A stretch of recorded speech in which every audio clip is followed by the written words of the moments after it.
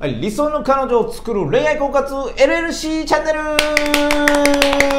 ということですね、奈良和えとしちゃんが、えっ、と、まあ、としちゃんですね、えー、3、100日で彼女を作るという企画を今回やっております。はい。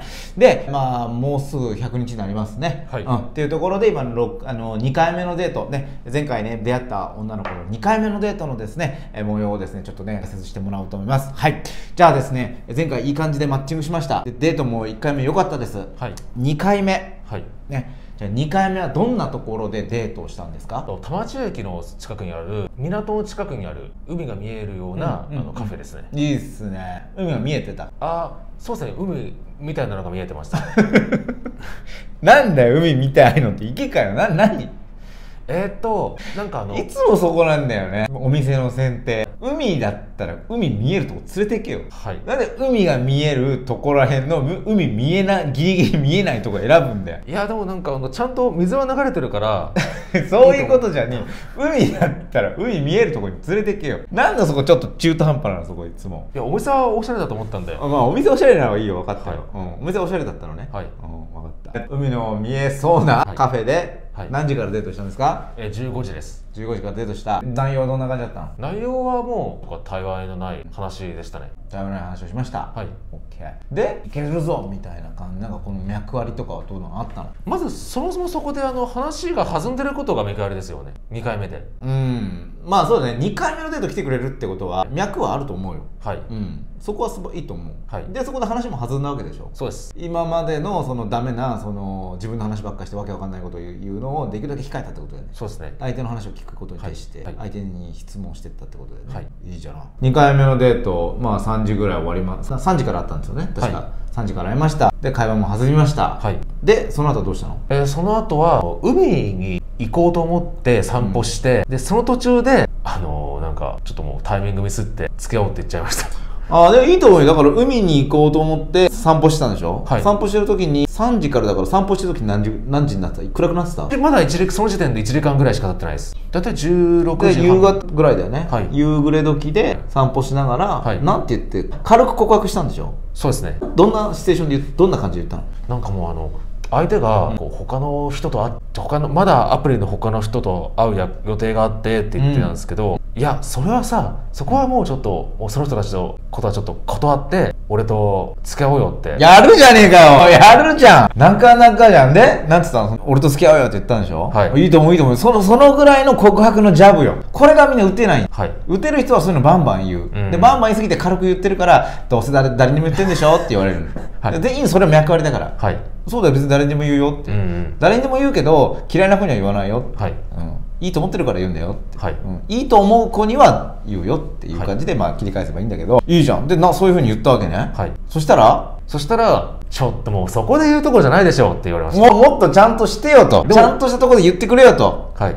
脈ありサインですね。でもそれ笑いながら言ってもらいましたね。いいと思ういいと思う。いいじゃんもう他の男なんか会うなよと。もうそんなにそんなにできた？としちゃん。できない？もう劣等生バリバリだったよね。うちのメンバーの中でも。全然ダメだったじゃん。なんで急にそんなできるようになったの？やっぱり小林のおかげだと思うよ俺は。うん、あとなんかそういうフレーズとか勉強したりとかしたの？フレーズとかですか？一応ちょっとあのなんかツイッターとかインスタとかなんか日頃からちょっと見てたんで恋愛系のやつ、うん、それがなんかいざという時思い出してたって感じです。今さ LLC チャンネルのさ収録してるからさ、はい、LLC のおかげですって言えよ。なんでツイッターとかインスタの他のやつを言うのよ LLC のおかげですって言え一言言えばいいんだよ。分かった、はい、でもよかったね。告白してまあいい感じですよねその流れ。軽く告白。まあプレ告白だよね。プレ告白成功しました。その後どうなったその後居酒屋行って、まあ、そこでも普通の話とか家族の話とかしてたんですけどいいね。自己開示してったのね、はい、パーソナルな質問ね。はいいいと思いますよ。もうその時点でもうお互いのもう体が触れ合ってて。あこここう触れ合う。で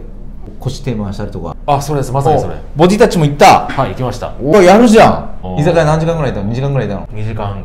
あはい2時間ぐらいいます。素晴らしいじゃん。でどうなった？その後お店居酒屋でボディタッチパーッとして、はい、その後お店出て？その後あのたまたまなんか散歩してたんですけど散歩したら？たまたまホテルがあった。たまたまホテルあった。そうなんですたまたま散歩しててたまたまホテルあった。それたまたまじゃなくて全部計算していかなきゃダメだよ。はい。次回から。はい、はい、で？でそれであのじゃあよしじゃあ盛り上がってきたところでちょっと今日は一緒にいようかって、うん、って誘う演技をしました。うまい。もう断られていいってことだよね。そうですね。素晴らしい素晴らしい。断られる前提でホテル誘ったわけでしょ、はい。素晴らしい。そしたらなんて言った？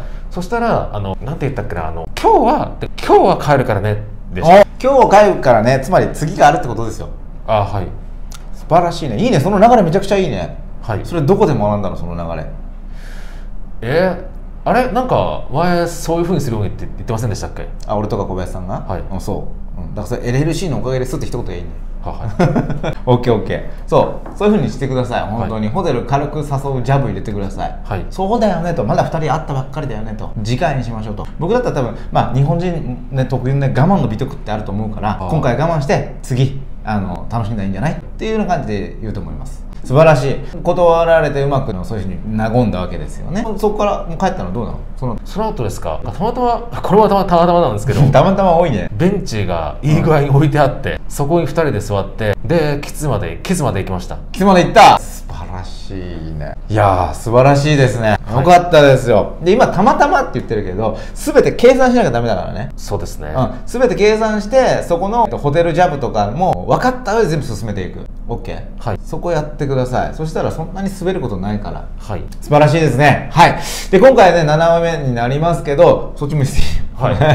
はい。えー、トシちゃんがね、えー全然ダメダメだったトシちゃんが今こうやって2回目のデートまで行ってホテルジャブも入れて、えーキスまでして次次どうなるかですね楽しみですね。えーよかったと思ったらですねあのチャンネル登録とグッドボタンコメントなんかもいただけたらと思います。じゃあ次最後3回目のとどうなったか、ね、また見たいとあのね動画作りますんで皆さん見てぜひ見てくて見てみてください。